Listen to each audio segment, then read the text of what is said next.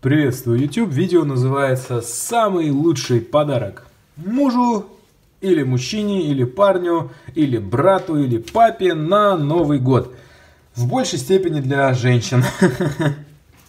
Итак, если вы очень любите своего мужчину, то одним из самых лучших подарков будет фронталочка. Потому что Фронталочку мужчины себе покупают сами редко, потому что до последнего жмотятся, особенно когда дело касается «Ой, ну что я буду с ней делать, да я пощелкаю, потом задолбает, это то, пятое, десятое, ну и как бы все».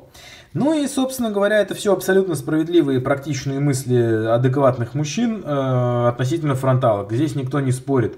Ну, как бы вариантов два. Либо как игруху рассматривать, либо гонять хвосты в гриву и понять, э, как она устроена, разобрать, собрать, чистить ее или постоянно носить ее мастеру, чтобы он ее, а, правил точил, б, чистил, если туда что-то все-таки попало. Вот. Ну и, конечно, в итоге поэтому многие мужчины себе не покупают. Но, если вы подарите мужчине такую штуку, он никогдашечки не откажется и будет бегать, прыгать, щелкая ею, благодарить вас, чмокать в щечку и говорить прям спасибо, спасибо, спасибо. Почему? Ну, потому что вот в момент, когда ты делаешь вот это, ты испытываешь ощущение, ну, как в детстве, я не знаю, когда...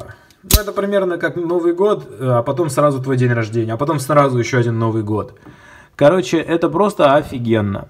И надо сказать, что клинок сделан реально очень толково. Здесь двойной финиш, здесь пескоструйчик, здесь сатинчик. А, маленький, тоненький клиночек, вообще без каких бы то ни было там а, изысков, но очень адекватно сведенный. Вот это мне понравилось. Очень адекватно сведенный. Сталька S35VN. Классный вот этот вот латунный э, у нас, э, ну как сказать, слайдер, я бы сказал, ползунок. Вот, на него очень удобно ложится палец. И самое главное, что в отличие от оригиналов, легковесный механизм, абсолютно легковесный механизм. Можно щелкать, перещелкать.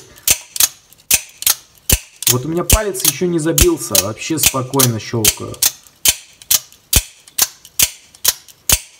Ну, убедились.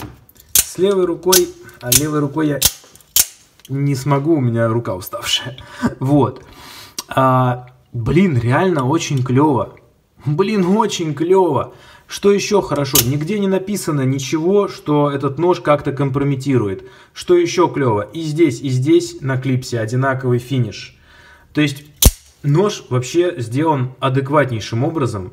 По красоте легенький узенький, удобный, приемистый клинок, достаточно адекватный и по толщине, тоньшине кончика, и по слесарке аккуратный, и сталька правильная, которую можно достаточно хорошо, успешно править, потому что перетачивать 5 раз такой нож как бы в год неправильно.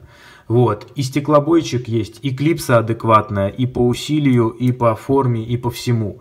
И интересный, нескучный вид – и при этом достаточно практичный, то есть нож не скользит в руке. И при этом, естественно, сидишь, себе медитируешь и щелкаешь. Открыл, закрыл. Открыл, закрыл.